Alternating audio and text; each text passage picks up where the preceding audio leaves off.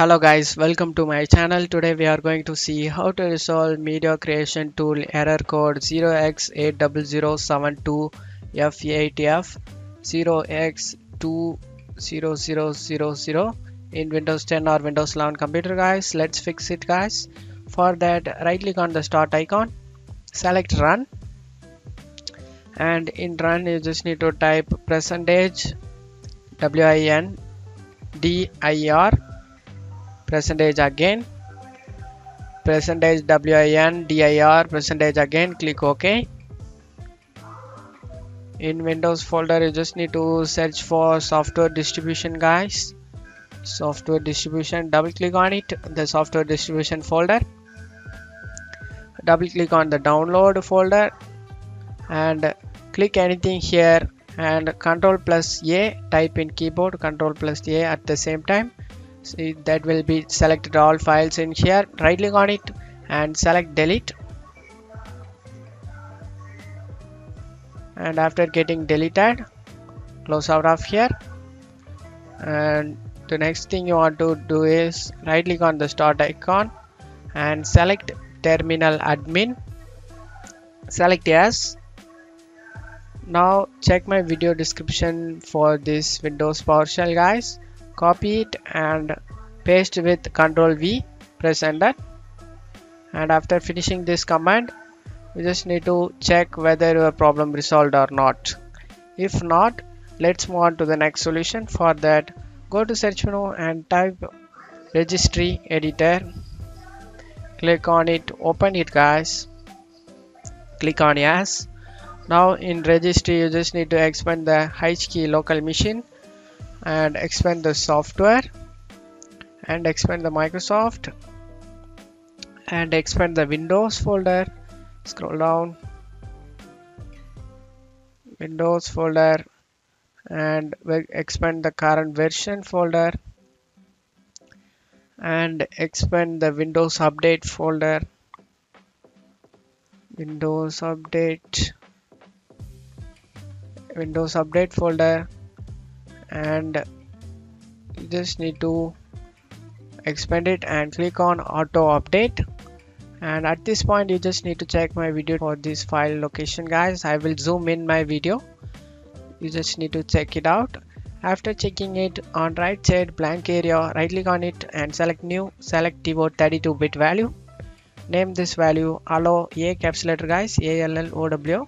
Allow o s U caps letter guys. OSU caps letter. P G P G R A D E. A caps letter allow OSU caps letter upgrade. OS upgrade. Press enter. Double click on it. Change this value data to 0 to 1 click ok after doing it. Go back. For changes take effect. You just want to restart your pc guys and after restarting your PC your problem will be resolved but if you still having a problem you just need to let's move on to the next solution guys. For that go to search menu and type cmd opens up command prompt. Click run as administrator and click yes now check my video description for this command used in my video. You just need to copy one by one with ctrl c and paste it in ctrl v.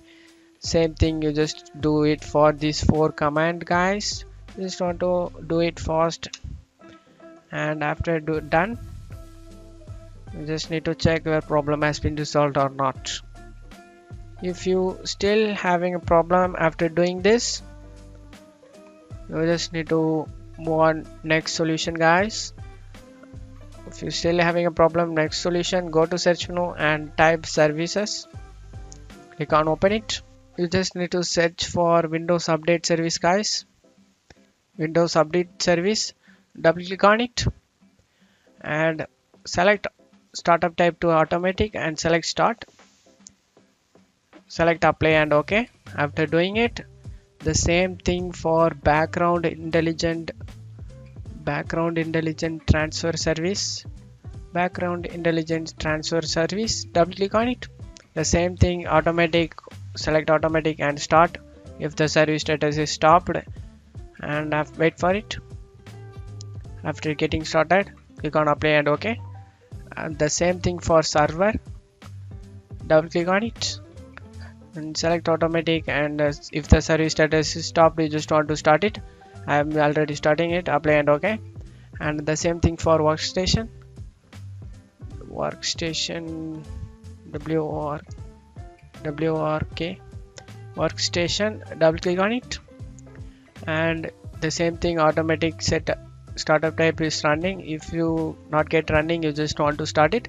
Select apply and ok after doing it the same thing for TCP TCP IP net BIOS helpers. Double click on it. Startup type change to automatic and service status is already started. Just want to if you in your computer if that's it not started stopped you just need to start it. Click apply and ok. The same thing for INI INE and IPSEC keying modules. Double click on it. The same thing for this one as well. Click on start set automatic and apply and ok and after doing this go ahead and restart your pc and after restarting your pc your problem will be resolved. And that's it for today's video guys. Give me a like and subscribe. Thank you